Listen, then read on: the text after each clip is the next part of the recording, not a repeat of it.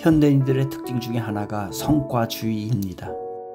때로는 우리가 추구하는 성과주의가 교묘한 성과주의 우상이 될 수 있습니다. 우리가 두려워할 것은 평범하게 사는 것에 대한 두려움이 아닙니다.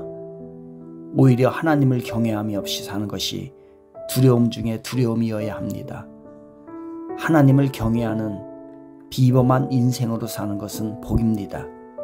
또한 동시에 하나님을 경외하는 평범한 인생도 너무나 소중한 복입니다. 성과주의 의상에 빠지면 적절성, 힘, 영향력, 세상을 변화시키는 일에 눈이 멀게 됩니다. 이 모든 것이 성과의 척도일 뿐입니다. 결코 그리스도에 대한 사랑과 충성의 척도가 아닙니다. 사개오는 주님을 만나서 비로소 자신의 정체성과 삶의 방향성을 찾게 됩니다. 그것은 한마디로 말하면 회심이라는 말로 설명이 가능할 것입니다. 회심은 그동안 주인 삼아왔던 것에서 벗어나 하나님께로 전향하는 것을 의미합니다. 사개오는 그리스도를 만나 회개와 믿음의 자리로 나아가게 되었습니다. 사개오가 그 나이 되어서 발견한 자신의 정체성과 방향성은 주님을 기쁨으로 영접한 자로 자신의 심령의 주님을 모시고 날마다 주님과 깊은 식탁 교제를 나누며 살게 되었습니다. 이를 통하여 사개오는 성과주의적인 우상에서 벗어나게 됩니다. 이제는 하나님과 함께 살아가는 삶에 대한 도전을 지속적으로 하게 됩니다. 사개오는 성공의 위치를 추구하는 삶과 결별합니다. 대신에 사개오는 주님 안에서 살아가는 삶으로 바꾸게 됩니다. 성공의 자리보다 믿음의 자리에 앉게 됩니다. 그러나 사개의 회심은 여기가 끝이 아닙니다. 그는 사회적 회심으로 나아갑니다. 사개오가 서서 주께 여짜오되 주여 보시옵소서 내 소유의 절반을 가난한 자들에게 주겠사오며 만일 누구의 것을 속여 빼앗은 일이 있으면 내 갑절이나 갚겠나이다. 주변 사람들에게 행한 불의와 악행을 내우치고 정의롭고 주변을 살리는 사람으로 살아가는 것입니다. 사개오가 발견한 삶의 정체성과 방향성은 개인적 회심을 기초로 해야 합니다. 주님을 진정으로 만난 사람들로 지속적인 주님과의 식탁 교제를 이루어가는 것입니다. 그러나 이러한 개인적인 회심은 결코 사적인 영역에서만 국한되어서는 안 됩니다. 반드시 세상과 역사를 향하여 열려야 합니다. 즉 사회적 회심으로 나아가야만 하는 것입니다. 더 많이 쌓고 살아가는 것은 주님을 만나기 전에 삶의 욕망입니다. 결코 주님을 인격적으로 만나고 나서는 인생의 목적이 축적해 놓는 삶이 아닙니다.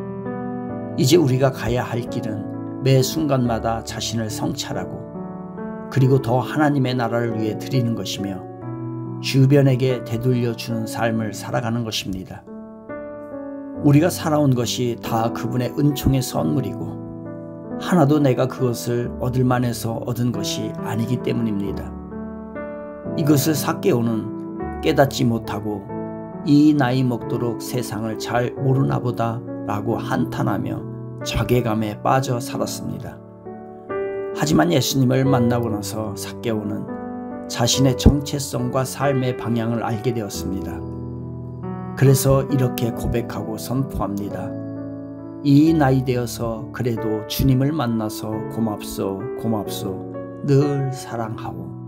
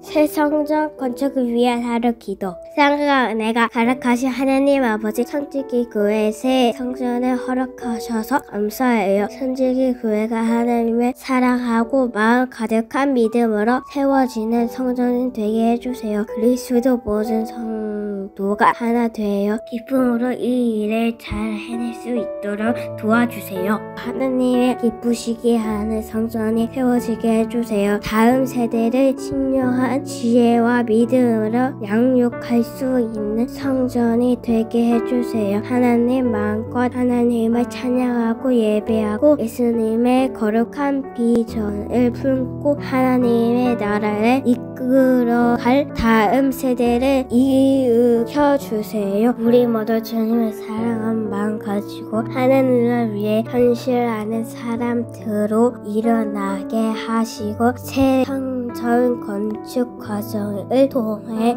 우리 성도들의 일터 가정 교회의 강력한 성령 이후로 경험하게 해주세요. 하나님 행복하세요. 우리가 있잖아요. 사랑이여 교회 주인 되시나 예수님의 이름으로 기도드립니다.